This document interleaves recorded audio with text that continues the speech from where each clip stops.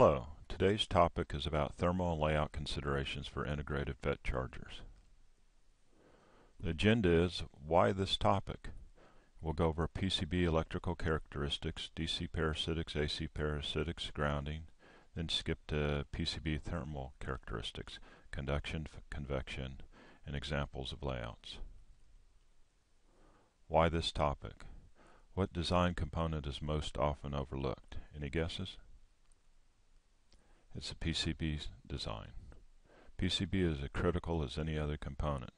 Use the same care with this design of the PCB with as with any other IC FET, inductor, caps, and other components. Why is layout important?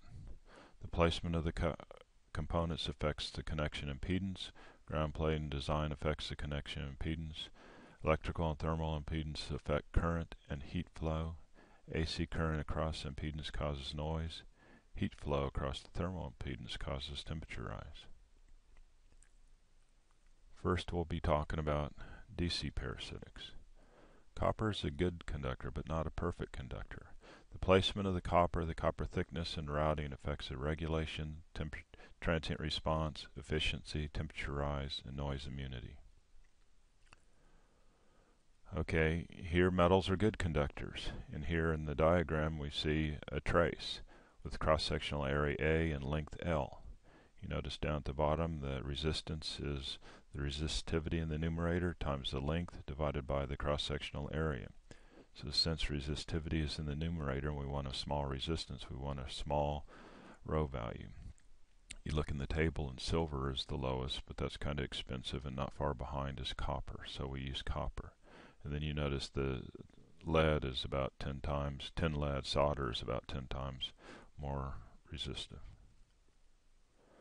Okay, we need to have a good way to estimate copper resistance. So you can look at a trace and just uh, and know what resistance it is. So we do this by taking the formula and breaking a trace, say it's a 100 mil trace by 1 inch long, so there's 10 squares if you divide it into equal squares with um, the width is L and the length is L. The L's cancel out in the formula and you got resistance equal rho over T. You plug in the value of 2.8 mils for 2 ounce copper, the bottom row in the table, and come out with 0.26 milliohms per square. So that 1 inch trace with 10 squares would be 2.6 milliohms. Okay, vias have resistance too. So we have here shown a 60 mil board, so the V is 60 mils long, and the cross-sectional area is shaded. And you plug in the numbers in the formula, and you get the resist resistance is 0.7 milliohms. Well, this can handle up from 1 to 3 amps.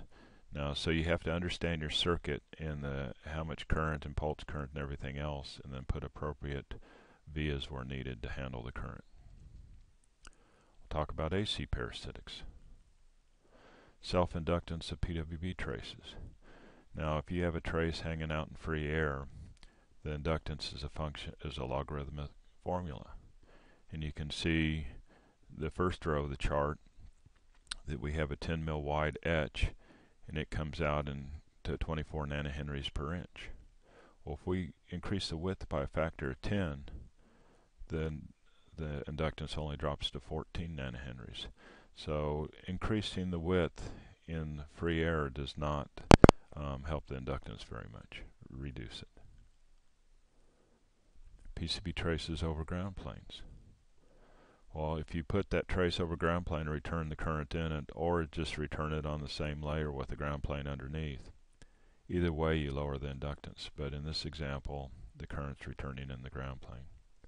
So the formula becomes linear and you can see height on the top and width on the bottom. So the shorter the height, the shorter the gap between the trace and the board, the lower the inductance, and the wider the width, the lower the inductance. So over on the right hand side, the English units, you see the width is 0.1 inch or 100 mils. And now if it's 10 mils off the board, it's 0.5 nanohenries per inch. And if it's 60 mils off the board, is 3 nanohenries per inch. This is quite a bit less than the 14 we saw before. Okay, now we take a 3 inch piece of wire. How much is inductance in, in that 3 inch wire? Well, it depends how it's configured, and it really matters for circuit performance. We take that loop of wire, and if you look in the fixture there on the meter, we put the we looped the wire and put plugged it into the LCR meter, and we come up with 79 nanohenries for this loop of wire. Now we take a 60 mil board with the copper facing away on one side, facing away from the loop, and put it up there, and then inductance drops to 52. Then over to the right, we flip over the board where the cop copper is adjacent to the loop, and it's 37 nanohenries. Now we take away the board bottom left and squish out the area in the loop for two parallel wires, and it's 32 nanohenries. Now we put that copper board with the copper away from it, drops to 31 flip over the copper board it's 27 we twist the wires with no copper board it's 26 we put the copper board up with the copper away and it doesn't help much there. And then we flip over the board and it's 25 so you can see as this um, the configuration and how you put place the trace with with respect to a copper board, the leakage inductance really changes, and we'll see later how that affects the layout. Now we'll talk about capacitance. We've got a 10 mil thick board here, and we got 10 mil traces at right angles on top and bottom. And the shaded area is what um, has a capacitance of 0.01 picofarads, which isn't much.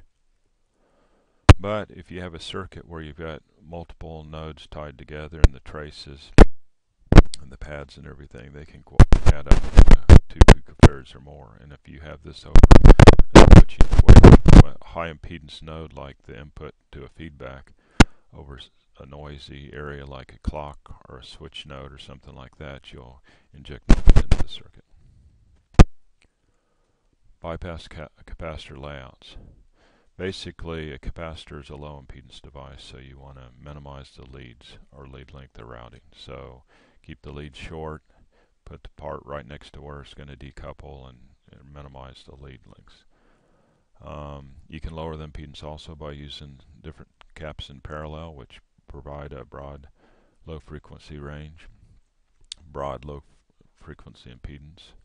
Um, and then you can also parallel uh, like ceramic caps of different values to get a wide range of low impedances. This really takes an experienced layout person to understand all these concepts and, and where the currents flow. Okay, more about capacitors. Capac capacitors can become inductive. You look over here, the model of a cap is on the left is a cap in series with inductive leads in series with resistance. So you go to the figure there and you can see fre frequency on the x-axis, impedance on the y-axis. So as you start over at the left at 0.1 kilohertz, the impedance is high, and as you sweep the frequency, you'll see all the curves. There's four different curves for OSCON, polymer, tantalum, and ceramic caps. They'll hit a valley. This is when where the capacitance value and inductive value become equal, and that's the resonant frequency of the cap, and that's also the ESR of the cap. Any further increase in frequency will cause impedance to increase.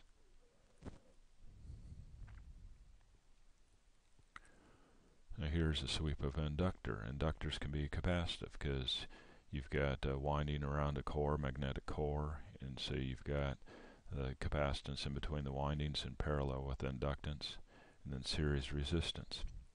So you look at the frequency chart. And as you sweep the frequency from 1 kilohertz up to about 200 kilohertz impedance increases. And then that's where the resonant frequency is. Toroid with the winding. Any further increase it becomes more capacitive you look look over on the right hand side and it's a chip inductor. And you can see it doesn't even start to roll off after 100 megahertz we typically use this for the high switching converters, uh, high frequency switching converters. Um, it's switching the 1 to 3 megahertz range.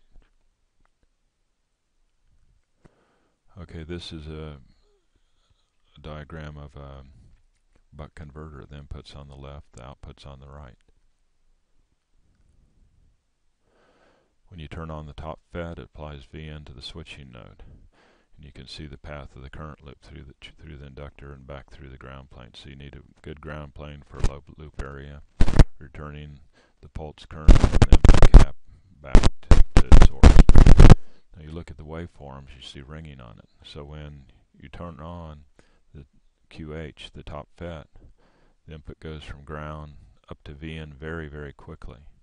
At this point in time, you can see the leakage inductance drawn in, drawn in the schematic this charges up those leakage inductance. So once it gets to the switching node gets to VN, the polarity of these inductors switch and continue to drive the current and drive it up to the peak, and then um, the current oscillates between the two FETs.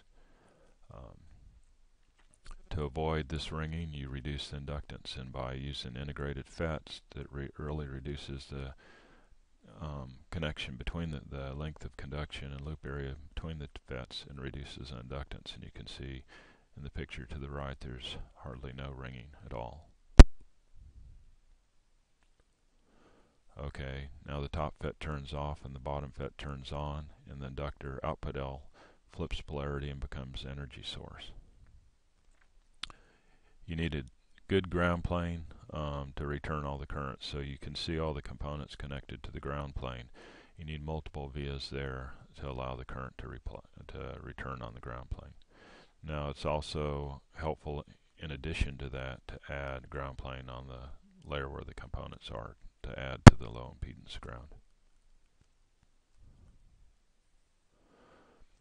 Okay, now you look, this is called the high frequency loop between the two FETs because the top FET turns on momentarily and has a pulse of current.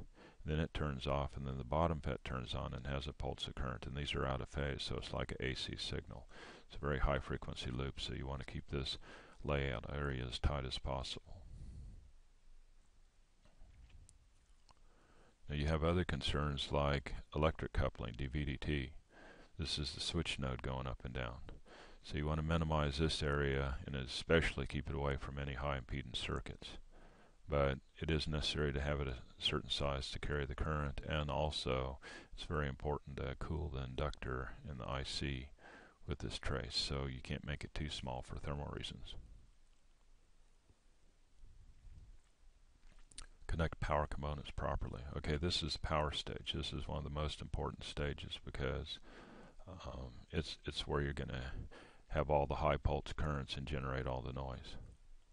So the first thing it's to do is to draw a schematic and, and draw it such that how you're going to place the components on the PCB board. And so you can understand what topology it is by looking at it. Okay, so for example, the switching FETs Q2 and Q4 turn on and off out of phase. And they get their energy when Q2 turns on, it gets its energy from C3, so the current in, in C3 jumps up to basically the output current as shown previously. And that charges uh, Q4 um, drain to source capacitance was at zero and it jumps up to VN. And so it charges that um, very fast, fast, that rise time, you know, 5 to 10 nanoseconds. And that current coming out of that cap is a noise current, and you want it to return back to that cap in as short of loop area as possible, because that loop area is antenna, and you don't want it coupling to anything else.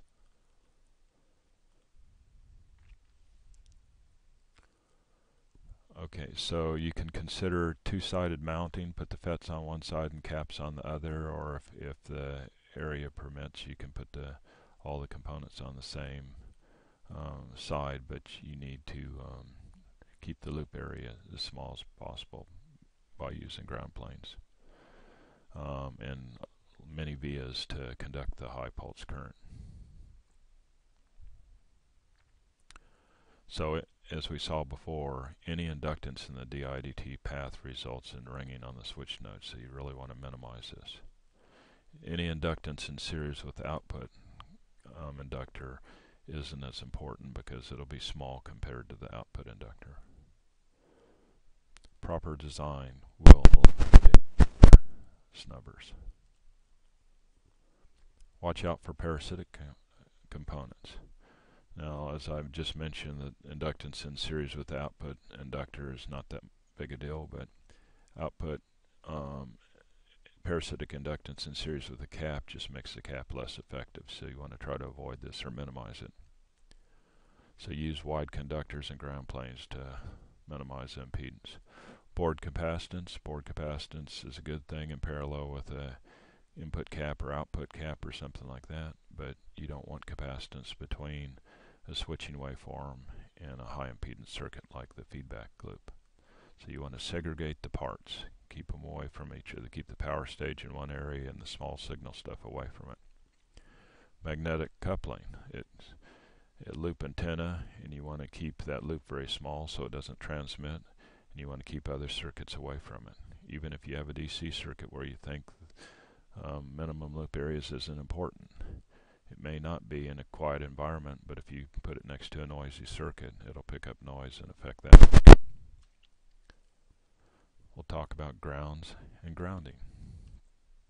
There's many way, different ways to ground. One way in the past was daisy chain everything together. This has a lot of potential differences which cause issues, DC issues, offsets. And then you've got the high impedance uh, at high frequency, greater than 10 kilohertz, which is issue. And a little bit better is a parallel or star node grounding, where you route every route everything to a central point. Well, this has less potential differences, but at high frequencies, those traces on one level still have a lot of inductance as shown in our example on the LCR meter. Multi-point grounding. This is the best low impedance overall. You use vias to tie it to the ground plane, which is very low impedance. Low impedance means that um, less voltage drop for any noise that's in the circuit, any pulse currents. Um, remember to segregate your circuits. So if you have the power stage in one little area and the pulse current coming out of it returning right away, and your small signals is in a different area of the board, there's no current flowing between them, so there's no IR drop between the two circuits.